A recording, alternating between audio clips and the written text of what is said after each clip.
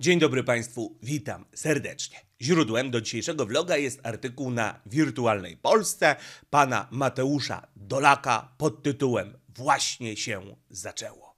Rosja idzie z pięciu kierunków. Ba, nawet tą frazę właśnie się zaczęło chyba wrzucę w hołdzie dla pana Mateusza Dolaka dla, do swojego tytułu, gdyż ona stanowi bardzo fajne, twórcze rozwinięcie wylansowanego przeze mnie typu tytułu Zaczęło się.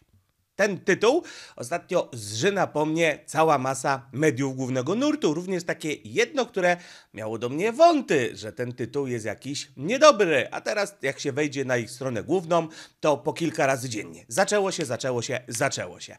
Takie mam wrażenie, zaczęło się zżynanie z woźniaka, a tutaj proszę bardzo, pan Mateusz, takie fajne, twórcze rozwinięcie. Osobiście uważam, że kopiowanie to najwyższa forma pochlebstwa, ale jednak twórcze rozwinięcie to jest jeszcze wyższa niż najwyższa. Także bardzo serdecznie, panie Mateuszu, dziękuję i odwdzięczam się pochlebstwem w pańską stronę. Użyję bardzo podobnego tytułu. Zanim jednak sobie wspólnie przeczytamy i omówimy i skomentujemy, poddamy analizie logicznej, krytycznej artykuł pana Mateusza, który jest wybrany z całej masy różnych artykułów, które pojawiły się wczoraj w mediach głównego nurtu na bardzo podobną modłę. Przypomnijmy sobie, co te same media głównego nurtu mówiły jeszcze niedawno. I tu, drodzy Państwo, to same medium, jakim jest wirtualna Polska. Amerykański generał, Rosja już została pokonana. Tak tak, drodzy Państwo, to samo medium. Jeszcze tak niedawno tytuł artykułu Amerykański generał Rosja już została pokonana. Teraz naciera z pięciu kierunków. E, drodzy Państwo, dalej. Fakt. PL. Fatalna y, sytuacja w wojskach Putina. Generał Polko potwierdza, są w całkowitej rozsypce. Tak, drodzy Państwo, to jest ten sam generał Polko, który teraz mówi w mediach to, co mówi to nie jest sobowtór, to nie jest brat bliźniak, e, to jest ten sam człowiek, tak, drodzy Państwo? No i znowu wirtualna Polska. Putin zmienia zdanie, chce negocjować, bo przegrywa. E, widać, już zmienił zdanie i nie chce przegrywać, albo to media głównego nurtu zmieniły zdanie. Dlaczego ja to wszystko Państwu mówię? Ponieważ dla, żeby przypomnieć, żeby osadzić w kontekście i żeby nie zostać od razu skreślonym, jak będę mówił pod koniec tego vloga, pewne tezy, a może nawet na samym początku coś tam zajawię. Chodzi o to, że dla ludzi, którzy oglądają moje vlogi często, nie jest żadnym zaskoczeniem to, co się w tej chwili dzieje. Bo ja już kilka miesięcy temu, gdy media głównego nurtu, ba, już wiele miesięcy temu, gdy media głównego nurtu robiły swoistą propagandę sukcesu i mówiły no właśnie takie rzeczy jak za, zacytowałem, że armia Putina jest w całkowitej rozsypce, że Putin chce negocjować, bo, prze, bo przegrywa, że Rosja już została pokonana i wiele innych tego typu rzeczy. Przeróżni eksperci od tej wojny siali właśnie tą propagandę sukcesu i te media głównego nurtu siały tą propagandę sukcesu, to ja już wtedy mówiłem, że to jest propaganda sukcesu. Że to nie jest prawda, że to jest propaganda. Że, że tyle. I już wtedy zapowiedziałem, że będzie przedstawienie wajchy w drugą stronę, że tak jak teraz, e, przepraszam, jak wówczas była propaganda sukcesu, tak teraz e, jest, dzieje się to, co wtedy zapowiedziałem, czyli pioruńskie straszenie.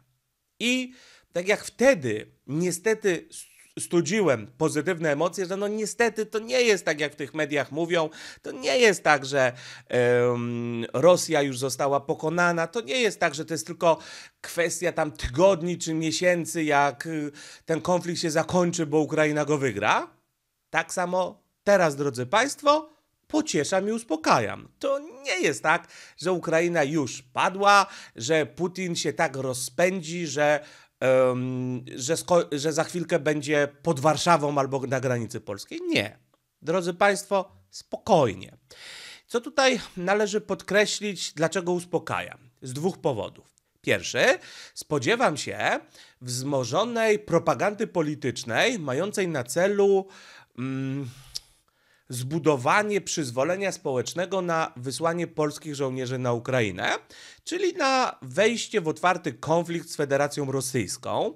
W moim odczuciu taka sytuacja to jest najgorsze, co Polskę może spotkać, a wszystkich tych ludzi, e, którzy zachęcają, podburzają do wojny, należałoby zapytać, kto im płaci i dlaczego zachowują się jak zdrajcy interesu polskiego. Ponieważ należy sobie bardzo wyraźnie to podkreślić, jeśli Polska stanie się czynnym uczestnikiem tego konfliktu i stanie się stroną tego konfliktu, zaatakuje federację, znaczy dołączy do tego konfliktu po stronie Ukrainy, to tak jak teraz rakiety spadają na Ukrainę, tak zaczną spadać rosyjskie rakiety na Polskę, a NATO jest sojuszem obronnym. W związku z tym, jeśli Polska dołączy do tego konfliktu niezaatakowana, to NATO wcale nie będzie musiało dołączyć do tego konfliktu po naszej stronie. NATO wtedy zapewne zdecyduje się, że będzie nas wspierać, podobnie jak teraz wspiera Ukrainę, czyli mówiąc krótko, tak jak w tej chwili Ukraińcy się wykrwawiają, a Ukraina jest bardzo mocno niszczona, tak będzie niszczona Polska, a my będziemy ginąć na Ukrainie. I to jest coś, czemu chcę zapobiec.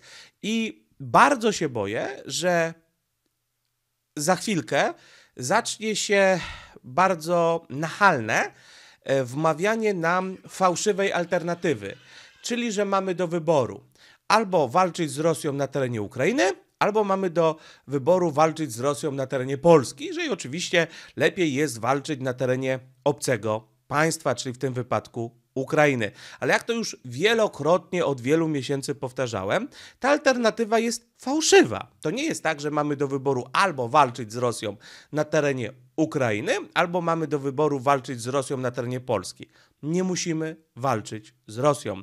A każdy, kto nam taką fałszywą alternatywę daje, no w mojej ocenie działa na zlecenie kogoś, kto chce wciągnąć Polskę do wojny i to nie może być ktoś, kto chce dobrze dla Polski, bo w interesie Polski jest w tym konflikcie nie uczestniczyć. To jest pierwsza rzecz, której się boję bardzo, bardzo mocno. Druga rzecz, która już się zaczyna dziać, to sianie paniki na rynkach finansowych. Tak jak przewidziałem, e, rozpoczęcie tej kontrofensywy rosyjskiej e, zbiegło się w czasie z atakiem spekulacyjnym na złotówkę i złotówka leci na łeb na szyję. Jeszcze niedawno dolar kosztował 4,28, e, a w tej chwili, gdy kręcę tego vloga, kosztuje, uwaga, 4,48. To trochę potaniał, bo jeszcze niedawno jak był 4,49. Czyli i tak jest ponad 20 groszy droższy i budowana jest taka narracja, że złotówka będzie się jeszcze dużo bardziej osłabiać. W związku z tym każdy, kto ma oszczędności w złotówce, powinien natychmiast wymienić te oszczędności na coś, na przykład na euro, albo na dolara, albo na cokolwiek innego, uciekać ze złotówką, bo złotówka to za chwilę będzie nic nie warta. I tutaj uspokajam. Drodzy Państwo, to co teraz powiedziałem i to co teraz powiem, to nie jest broń Boże żadna porada inwestycyjna.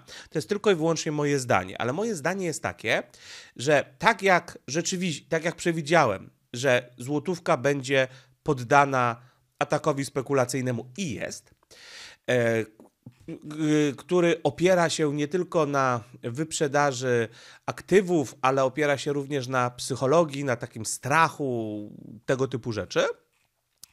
E, tak samo za jakiś czas złotówka zacznie zyskiwać na wartości. I bardzo możliwe, że w chwili, w której oglądacie tego vloga, bo on się będzie ileś tam godzin renderował, to złotówka jest już jeszcze mniej warta. A, a jutro, pojutrze, za trzy dni będzie jeszcze mniej warta Wcale nie jest powiedziane, że złotówka nie dojdzie do 4,60, znaczy dolar nie dojdzie do 4,60, 70, 80, 90, może nawet przekroczy 5 złotych. Może nawet e, ten, e, może nawet ten, ten niski kurs złotego będzie się utrzymywał całymi tygodniami czy miesiącami. Nie sądzę ale nie wykluczam. Natomiast to, czego jestem przekonany, to to, że tak jak przy poprzednim przestawieniu wajchy medialnym, które spowodowało, yy, było jakby skorelowane z atakiem spekulacyjnym na złotówkę, co spowodowało drastyczny spadek wartości złotówki, znowu będziemy mieli za chwilę przestawienie wajchy w stronę hura optymizmu, a yy, dolar zacznie spadać, czy złotówka zacznie yy, zyskiwać na wartości. Dlaczego tak twierdzę? Bo to ponieważ generalnie im lepsza sytuacja na wojnie, tym są lepsze prognozy fundamentalne do tego, żeby złotówka się umacniała. To jest pierwsza rzecz.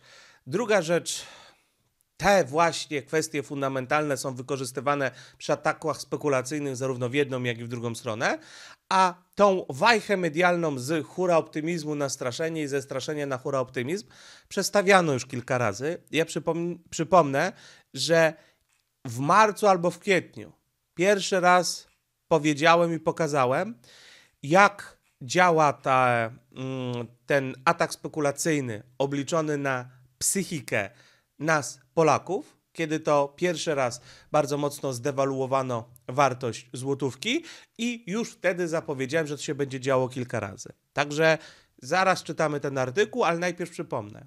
Tak jak wtedy, gdy media głównego nurtu siały propagandę sukcesu Ukrainy, ja niestety studziłem emocje i mówiłem, wcale nie jest tak dobrze, tak teraz, gdy media głównego nurtu po prostu straszą, ja mówię spokojnie, wcale nie jest tak źle i doradzam wszelki spokój w podejmowaniu działań wszelkich finansowych, inwestycyjnych i to jest w zasadzie jedyna porada, jaką daję. Wszystko inne to jest tylko moja opinia.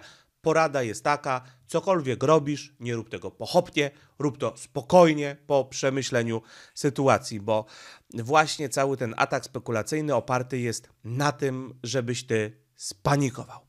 No dobra, to sobie poprzeczytajmy, co tam się, drodzy Państwo, dzieje. I jeszcze raz podkreślę, że to nie jest tak, że ja mam cokolwiek do wirtualnej Polski, broń Boże. Do wirtualnej Polski to ja mam całkiem ciepłe uczucia, oni całkiem fajne artykuły piszą, w sensie pozytywne uczucia. Nie mam nic do nich negatywnego, a artykuł ten wybrałem, bo wcześniej miałem cytaty z wirtualnej Polski, w chwili obecnej już zrobione, bo teraz to te artykuły stare to strasznie trudno poznajdować. Um, i, I tyle. Natomiast mówię, no, większość mediów głównego nurtu wtedy uderzało w podobne tony i teraz też uderza w podobne tony. Czytamy. Pan Mateusz Dolak. Właśnie się zaczęło. Rosja idzie z pięciu kierunków. Co najmniej trzy duże dywizje wojsk rosyjskich rozpoczęły ofensywę w obwodzie ługańskim na wschodzie Ukrainy. Właśnie się zaczęło, alarmują ukraińskie władze. Eksperci ostrzegają, że rosyjska ofensywa może zakończyć się dla Ukrainy tragicznie. No właśnie, drodzy Państwo, eksperci, o ekspertach to troszeczkę sobie już porozmawialiśmy. Pytanie tutaj do wirtualnej Polski, czy to są ci sami eksperci, którzy jeszcze niedawno mówili, że Rosja już przegrała, że Rosja e, została już pokonana, że armia jest w rozsypce i że w zasadzie ten Putin to już przegrał. A może to jest ten ekspert, o którym dawno nie wspominaliśmy, który mniej więcej tak z rok temu mówił, że, ta, e, że Rosja już jest pokonana i że wszystko rozstrzygnie się w ciągu trzech dni. Te trzy dni tego eksperta w randze generała to trwają już prawie rok. Także spokojnie, drodzy Państwo, spokojnie. Ech tragicznie. Zobaczcie, jakie tam jeszcze niedawno mówili, że tam ukraińska armia to wyprze całkowicie Putina z tych swojego terytorium, Krym odbije, być może się w ogóle pod Moskwą zatrzyma i takie tam widziałem spekulacje, to akurat nie w wirtualnej Polsce, to w pewnej telewizji, y, czy jak Rosja, y, że jak Ukraina zacznie podbijać Rosję, to czy my nadal powinniśmy jej pomagać. Jeden ekspert mówił, że tak, bo, bo, bo, bo, bo należy, a drugi to mówił, że, że, że, że może mm, trochę, trochę przesada, bo to jednak mocarstwo atomowe, ale żaden nie powiedział, ludzie pukijcie się w głowę, coś takiego nie może się zdarzyć. Ukraina jest wielokrotnie mniejsza od Rosji, ma kilkukrotnie mniej ludzi. Do tego jeszcze według różnych szacunków nawet 10 milionów Ukraińców uciekło z Ukrainy. 40 milionów było, 10 milionów uciekło, zostało 30 milionów. Rosjan ile jest? 140 milionów? I ile z nich uciekło? Milion? Dwa miliony? Sądzę, że nawet nie tyle. Mówię to bez żadnej satysfakcji, po prostu mówię jak jest. No, nie jestem propagandystą żadnej ze stron, mm, nie staram się nie wiem, co media głównego nurtu robią. Przestawiają wajchę z lewa, prawa. Ja staram się po prostu cały czas mówić, jak jest. Os eksperci ostrzegają, że rosyjska ofensywa może zakończyć się dla Ukrainy tragicznie. Rosyjskie wojsko od tygodnia czyni postępy wzdłuż granicy między obwodem charkowskim a ługańskim. Tempo operacji rosyjskich wzdłuż linii e, swatowe Kreminna wyraźnie wzrosło. Ostrzegali y, analitycy amerykańskiego Instytutu Badań nad Wojną, w skrócie ISW. Szef władz obwodu ługańskiego na wschodzie Ukrainy zaalarmował w czwartek, że właśnie rozpoczęła się rosyjska ofensywa w tym obszarze. Zaczęło się pewne zaostrzenie i można stwierdzić, że de facto to jest już część pełnowymiarowej ofensywy planowanej przez Rosjan, podkreślił Serhii Hajdaj. Jak dodał, ukraińskie siły odpierają permanentnie ataki przeciwnika. W ciągu ostatnich 7 do 10 tygodni zwiększyła się liczba ostrzałów. Dowództwo rosyjskie zaangażowało co najmniej trzy dywizje regularnej armii na około 50-kilometrowej linii Swatowe-Kremina. Drodzy Państwo, trzy dywizje. Żeby Wam uświadomić, jak wielka siła to jest dywizja. Zasięgniemy sobie do internetu. Dywizja. Ile to ludzi? To nie jest powiedziane, jaka to, drodzy Państwo, dywizja.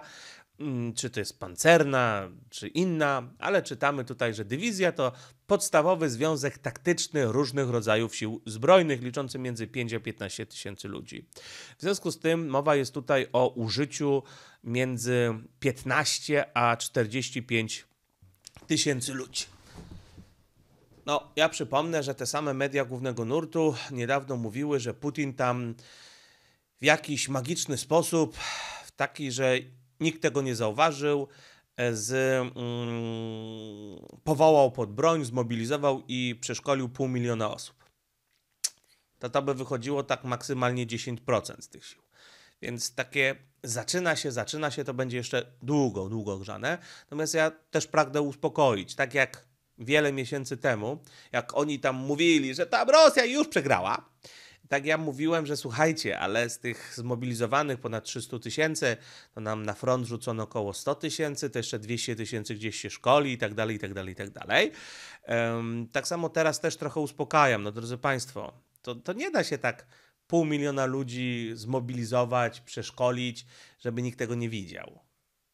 To, to nie da się tego ukryć. No to jest półmilionowa armia, to jest większe siły niż użyto do ataku na Ukrainę w pierwszych dniach wojny. To, to, to nie da się tego tak po prostu zrobić. To niemniej jednak trzy dywizje to jest dużo, tak? Od 15 do, od 15 do 45 tysięcy ludzi. No, natomiast też przypominam, że oficjalna ukraińska propaganda, przepraszam, tutaj według najnowszej nomenklatury Ukraińcy mówią tylko prawdę, e, no ale oni rzekomo wysyłają do Bozi nawet prawie że tysiąc rosyjskich żołnierzy dziennie, w związku z tym te trzy dywizje, no to jest kilkanaście, góra kilkadziesiąt dni i ich nie będzie. Oczywiście, moim zdaniem, Ukraińcy bardzo mocno zawyżają straty rosyjskie, swoje zaniżają, tak samo Rosjanie. Analogicznie, swoje straty zaniżają, ukraińskie zawyżają. No na wojnie prawie wszyscy kłamią.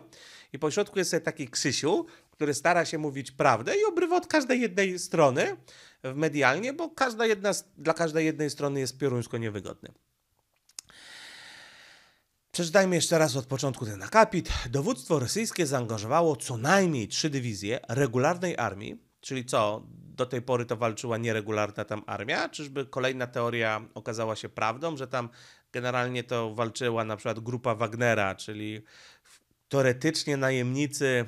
Ostatnio to podobno bardzo mocno złożona z dość wyniszczonych psychicznie i fizycznie żołnierzy, przepraszam, więźniów, których tam rzucono, zwerbowano w zamian za obietnicę złagodzenia lub darowania wyroku bez przeszkolenia i tak dalej, bez morale, za to z dużym prawdopodobieństwem, że uznają oficera za swojego własnego wroga, nie? No.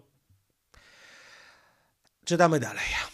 Dobra, od początku jeszcze raz ten sam akapit. Dowództwo rosyjskie zaangażowało co najmniej trzy dywizje regularnej armii na około 50-kilometrowej linii e, Swatowe-Kremina. Jak e, podało ISW, znajdują się tam elementy kilku pułków. 144, 144 e, Dywizji Zmechanizowanej i 3 Dywizji Zmechanizowanej oraz pułk 90 Dywizji Pancernej Centralnego Okręgu Wojskowego. Czyli dwa razy zmech i raz yy, czołgi. No to tak, tak na ostro rozumiem, że poszło. Według ISW yy, wspierają je elementy 47 Dywizji Powietrzno-Desantowej i niezidentyfikowane elementy wojsk Południowego Okręgu Wojskowego. Rosyjska ofensywa na pełną skalę. Drodzy Państwo, 15 do 45 tysięcy ludzi versus to, co mówili, że zmobilizował Putin pół miliona i to już ma być pe pełna skala. Mi się wydaje, że te rosyjskie ataki to jeszcze przed nami. Tak mi się wydaje, że to jest dopiero początek. To też mówię w kontekście dla tych, którzy nie umieją wytrzymywać psychicznie, jak im się yy, kończą oszczędności. Z tego by wynikało, że, tych atak, że ten atak spekulacyjny na złotówkę to się dopiero zaczął. Bo jeśli takie są tytuły po rzuceniu mniej niż 10% sił, to jakie będą tytuły, jak tam zostanie rzuconych 10-20 dywizji i front zostanie przełamany i Rosjanie zaczną się wlewać w głąb Ukrainy jeszcze raz podkreślę, to są tylko moje przypuszczenia, żeby nikt na podstawie tego, co ja mówię, nie próbował podejmować decyzji biznesowych. Każdy musi te decyzje podejmować sam we własnym zakresie. To nie jest żadna porada inwestycyjna, żadna jedna. Generałowie, którzy śledzą rozwój sytuacji na, na Ukrainie, ostrzegają, że Rosja przeprowadzi ofensywę na kilku kierunkach. Napór y, na kierunkach mocno wzrośnie. Rosjanie E, przyspieszyli swoje działania, które planowali na później. To jest paradoksalnie dobra wiadomość. Też tak słyszałem z moich informacji, też tak wynika, że Rosjanie z różnych powodów zaczęli wcześniej niż planowali. Jest takie stare przysłowie: jak się człowiek śpieszy, to się diabeł cieszy. I teraz jest pytanie, czy Rosjanie prze, yy, przy, przyspieszyli, bo wcześniej osiągnęli gotowość, czy, co bardziej prawdopodobne, przyspieszyli ze względów politycznych. Wiecie, nie tylko w Polsce e, politycy pchają się do rzeczy, na których się nie znają i po to są, z tego są potem problemy. Putin podobno ma powinowactwo do niesławnego akwarelysty i się bierze za, za zarządzanie armią. E, w związku z tym Yy, a i oczywiście tylko przypomnę, że tutaj oczywiście Ukraina została zaatakowana, Ukraina się broni, Ukrainie należy współczuć, yy, wspierać, a Rosja zaatakowała i Rosję należy potępić, więc potępiam to, żeby nie było, było jakichś tam sugestii, że odwrotnie. To każdy, kto ogląda moje vlogi, to wie, że ja przez propagandystów rosyjskich to jestem bardzo często atakowany, że jestem proukraiński. Ja nie jestem ani proukraiński, ani antyukraiński, nie jestem ani prorosyjski, na pewno nie jestem prorosyjski, nie jestem propolski, drodzy Państwo. I jeśli ja coś mówię, to dlatego, że uważam, że tak jest interes Polski. A jeśli to się, się, się przypadkiem zgadza z interesem tam Ukrainy, Rosji, Niemiec i tak dalej, to, to, to mnie to mało obchodzi. Najważniejszy jest dla mnie interes Polski. Ja tego nigdy nie ukrywałem. Ehm, Natomiast uważam, że pomagać należy też z takiego po prostu prostego ludzkiego współczucia. Natomiast to, co robi PiS, to już dawno przekroczyło pomaganie.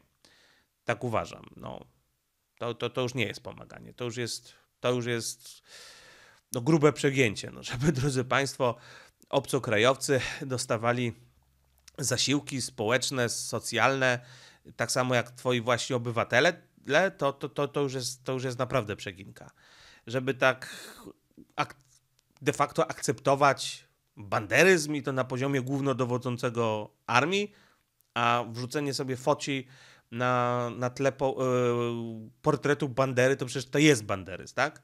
No to, to już jest, kurde, coś kompletnie nieakceptowalnego. To, co pisowcy robią, to jest po prostu chore.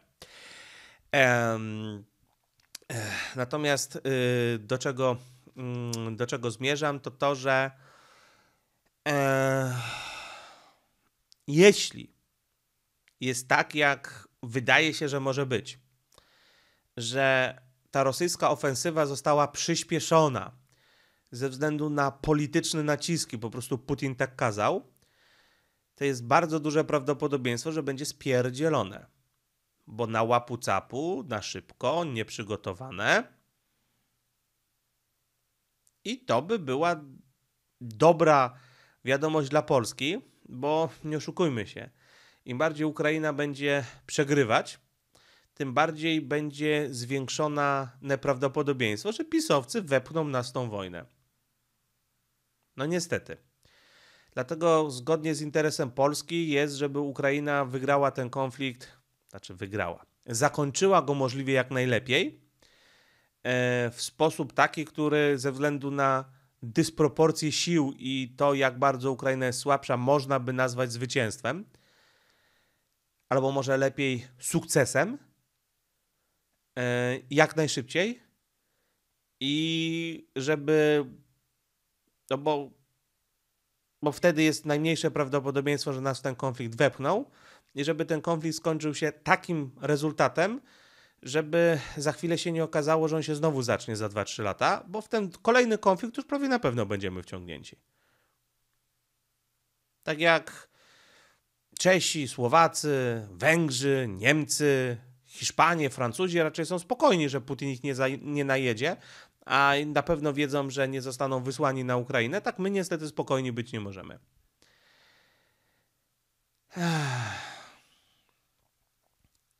Przeczytajmy od początku ten fragment. Napór na kierunku, na, napór na kierunkach mocno wzrośnie. Rośnie, e, Ros, e, Rosjanie przyspieszyli swoje działania, które planowali na później. Chodzi o to, żeby zadać Ukrainie jak największe straty przed dostarczeniem broni z Zachodu.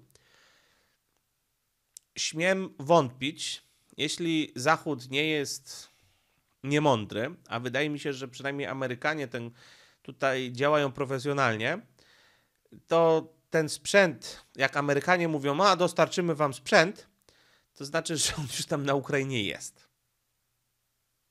Tak mi się wydaje. Że duża część tego sprzętu to już tam jest. Chcą, żeby dostawy e, najwyżej uzupełniły straty Ukrainy, a nie dały szans na zbudowanie nowych, większych zdolności bojowych ocenił pułkownik rezerwy Piotr Lewandowski, weteran wojen w Iraku i Afganistanie.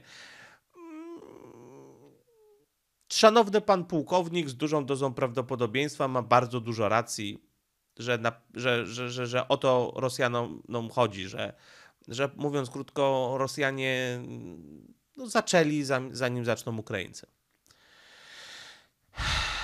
Jeszcze tylko podkreślę, że nie sam sprzęt, tylko jeszcze trzeba wyszkolić żołnierzy, nie? To trwa dłużej chyba niż przewiezienie samego sprzętu. Chyba, to jest, że, a to jest bardzo prawdopodobne, że razem z tym sprzętem jadą już przeszkoleni Ukraińcy, którzy w tajemnicy się szkolili od, od dłuższego czasu na Zachodzie. To jest bardzo możliwe. W tym na przykład w Polsce. Jego zdaniem głównym celem wojsk rosyjskich będzie zajęcie całego Donbasu, bo właśnie e, tego chce Władimir Putin od początku wojny. Obie strony będą miały bardzo duże straty. Ukraina, żeby wygrała, musi zadać trzy razy większe straty niż Rosja, wylicza pułkownik Lewandowski. Bardzo mądry ten pułkownik Lewandowski. Ktoś mógłby powiedzieć, że nazwisko zobowiązuje. Pozdrawiamy Lewandowskiego piłkarza. Eee, no właśnie, tylko a tutaj nie wydaje się, że Ukraina zadaje trzy razy większe straty. Ostatnio coś tam mm, podano wielkość strat ukraińskich, chyba Amerykanie podali i tam zdecydowanie nie wychodzi jak jeden do trzech. A pan pułkownik tutaj rozumiem, że bierze to stąd, że jaka jest populacja Rosjan, a jaka jest populacja Ukraińców. Wydaje mi się, że pan pułkownik nie wziął pod uwagę tego, jak wielu Ukraińców wyjechało z Ukrainy. Więc żeby to wygrać, wydaje się, że Ukraińcy musieliby zadawać jeszcze większe straty. Nie wydaje się, żeby to było możliwe. Zdaniem ekspertów, wojska rosyjskie uderzą na szerokim froncie. Armia będzie prowadzić rozpoznanie, gdzie siły ukraińskie będą najsłabsze. Drugim celem jest to, żeby Ukraina i NATO nie, sięg- nie wiedziały, gdzie będzie główny wysiłek. Jak Rosjanie uzyskają nią e, prowadzenie, finalnie ten front się zwęzi, twierdzi. No tutaj jest jeszcze jedna kwestia. Jeśli tych Rosjan jest tak dużo, to będą nacierać ławą, bo dzięki temu wykorzystują swoją przewagę liczebną. To jest oczywiste. Z kolei, czyli na szerokim, yy, szeroko, tak? Z kolei generał e, Waldemar Skrzypczak, były y, dowódca wojsk lądowych, przewiduje, że Rosjanie uderzą jednocześnie w kierunku Ługańska, e, Kreminnej, Swatowie i Krupińska. Który to jest Skrzypczak, drodzy Państwo? E, bo już mi się ci generałowie, którzy teraz tak często w tych mediach występują, mylą. O, generał Skrzypczak! Pozdrawiamy. Trzy dni, trzy dni, pozdrawiamy. No to, no to tyle. To jakoś na przełomie lutego i marca w zeszłym roku pan generał mówił, że, że Rosja już w zasadzie przegrała, że wszystko rozstrzygnie się w ciągu trzech dni. Ich celem, czy że została pokonana, coś takiego. Ich celem jest też Izium i Kramatorsk, a nawet Zaporoże. To jest wiele kierunków. To znaczy, że mają potencjał, który zmusi Ukraińców do manewrowania odwodami. Jeżeli Ukraińcy przerzucą wojska na kierunek północny, to znaczy, że zagrożony y, jest też obwód hersoński. Rosjanie od listopada zbudowali trzy razy większą przewagę, mówi generał Skrzypczak. Proszę bardzo, jak teraz nagle sobie eksperci ci twierdzą, że, że, że, że zbudowali przewagę i tak dalej. Tylko przypomnę, że jeszcze niedawno to eksperci się śmiali z tego, że Rosjanie robią jakieś tam zęby smoka, czy jak to się nazywa, że okopują swoje pozycje, że tam już przegrali i, i tak dalej, i tak dalej. Widać, okupywali swoje pozycje, żeby sobie kupić czas konieczny na zmobilizowanie większej ilości wojska. Zdaniem wojskowego Ukraińcy nie mają w tej chwili dużych odwodów. O ciekawe, a co się stało z tą wielką, gigantyczną armią ukraińską? Brakuje im sprzętu, a ten, który Zachód daje metodą kroplówkową, nie jest wystarczający. Hmm, jeszcze niedawno słyszałem, że Ukraińcy mają więcej, sprzętu niż na początku tego konfliktu, bo rzekomo tak dużo sprzętu zdobywają na Rosjanach.